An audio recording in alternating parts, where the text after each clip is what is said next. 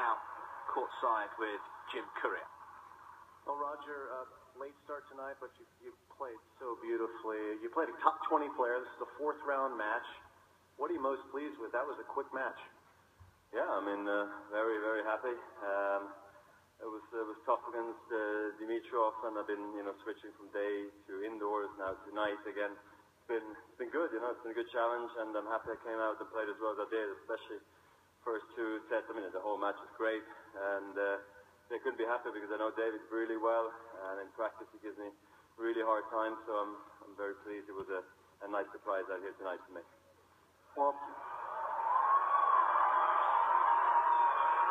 you're a veteran. You've been through the late starts before. What, what was what was going on for you just waiting to go on the court? Uh, any anything special tonight? Anything happen? Anyone come see you in the player restaurant? Um, no, just normal stuff. Uh, oh yeah, Rod Laver came around. I mean, I don't know if that's. What I was Yeah, no, no, you're right. I don't know where you were but that you saw me, but uh, he came to say hello, which was very nice. I appreciate that always. It's a great moment, uh, motivated and inspiring. Thank you. Thanks for being here, Rocket. Good to see you. Thank you. I'm always watching. Always watching. well, you had a lot of great tennis minds around you, not only the Rocket, but you've added a, a new person to your team. Severin Luthi has been with you a long time as your coach. Now you have Ivan Lubicic, who's not only coaching you, but you also played against him. What's it like to have a peer now helping you as a coach? Yeah, I think that's the first uh, for me. Hope I'm not forgetting anybody, though. I don't think so. But it's the first time that I have someone in my team that actually I played against, and we played a ton against each other.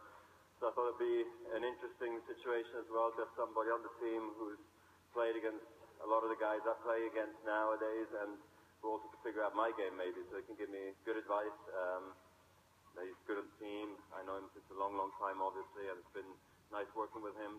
He left already. He's already scouting the next match, I guess. But anyway, uh, thanks uh, to my support team for supporting me like they do. Well, you're going to need some support. Your next match, you, you got Tomas Berdych. That's a tough one. You guys have had a lot of tussles over the years. Uh, what are your expectations for that match? yeah, I mean, uh, yeah. No, Tomas is a long time now, over 10 years on tour. We played some big matches against each other. Olympic, Olympics, they beat me. Wimbledon, he beat me.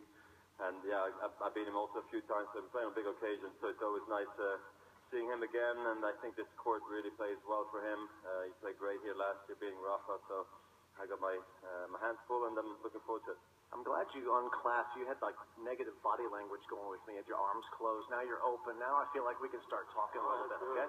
All right. Good. Come with me. All right. Family. I haven't had a chance to talk to you much. Give me the update on the family. The kids are getting a little bit older, a little bigger. How many languages are they speaking? well, the boys are one and a half. I don't know. Three languages? Four? Yeah, three or four words maybe. Yes. um, and those that language is Swiss German, I think, and maybe a bit of uh, names. I don't know what names are for you, what language, but uh, no, it's uh, it's the cutest thing ever. Again, I'm happy I'm going through it once again with my wife. It's just beautiful, and uh, the girls are six and a half now. They're just incredible. Um, a lot of sorry, a lot of a lot of educational stuff going on right now. So that's uh, that's a challenge, but I love it. It's uh, it's, it's a lot of fun, and they speak uh, yeah, a few languages, three. Languages.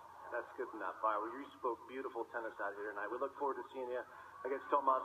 Roger Federer, ladies and gentlemen. Always a pleasure. Well, always a pleasure. I always get something interesting out of his interviews with